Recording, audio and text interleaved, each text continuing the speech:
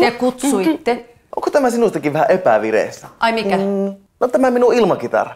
Tuota, en... Minä osallistun elokuussa ilmakitaran soiton MM-kisoihin. Saa muuten tulla kannustamaan. No nyt katkes kieltä.